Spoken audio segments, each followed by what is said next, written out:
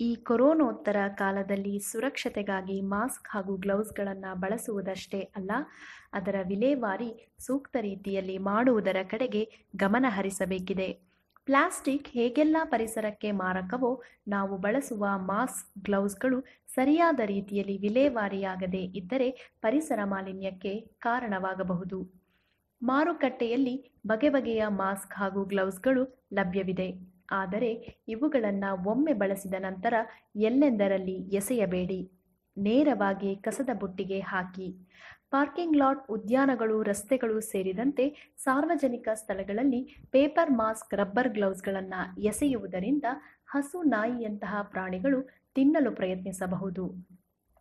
ನಮ್ಮಂತೆ ಪ್ರಕೃತಿಯ ಭಾಗವಾಗಿರುವ ಇತರ ಪ್ರಾಣಿಗಳ ಜೀವಕ್ಕೆ ಹಾನಿಯಾಗಬಹುದು. ಅಷ್ಟೇ ಅಲ್ಲದೆ ಇವು ಸುಲಭಕ್ಕೆ ಕೊಳೆಯುವುದಿಲ್ಲ. ನದಿ ಹಾಗೂ ಸಮುದ್ರ ತೀರಗಳಲ್ಲಿ ಎಸೆದ ಈ ತ್ಯಾಜ್ಯವು ಜಲಚರ ಪ್ರಾಣಿ ಸಂಕುಲಕ್ಕೆ ಅಪಾಯ ತರಬಹುದು.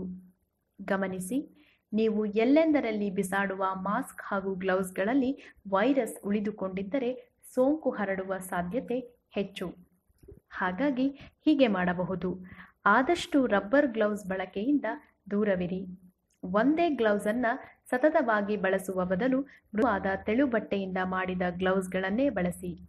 ಪುನರ್ ಬಳಕೆಯಾಗುವಂಥ ಕಾಟನ್ ಬಟ್ಟೆಯ ಮಾಸ್ಕಿಗೆ ಆದ್ಯತೆ ಕೊಡಿ.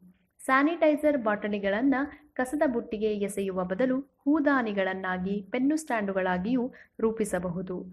ಕರಕುಶಲತೆಯನ್ನು ಅರಳಿಸಬಹುದು. ಸದ್ಯದ ಜೀವ ರಕ್ಷಕಗಳು ಎನಿಸಿರುವ ಈ ಪರಿಕರಗಳು ಪರಿಸರಕ್ಕೆ ಮತ್ತೊಂದು ಆತಂಕವನ್ನು ತಂದೊಡ್ಡದೇ ಇರಲಿ. ಕೊರೋನೋತ್ತರದ ಈ ಸಮಯದಲ್ಲಿ ಪರಿಸರ ಕಾಳಜಿಯನ್ನ ಮರೆಯದಿರೋಣ.